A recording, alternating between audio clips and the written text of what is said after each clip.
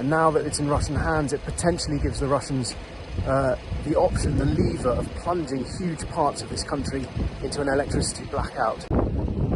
What we understand was that there was an all-night battle in the plant and then about six o'clock local time this morning, the Ukrainian authorities confirmed that it was now in Russian hands. And clearly the prospect of fighting at a nuclear power station raises huge concerns. We know that one of the housings of one of the reactors was damaged. We are reassured to learn uh, Ukrainian authorities have said that there was no significant damage to the nuclear parts of the plant. There's no leaking of radiation, but clearly it's just a terrifying reminder of what's really at stake in this, in this, in this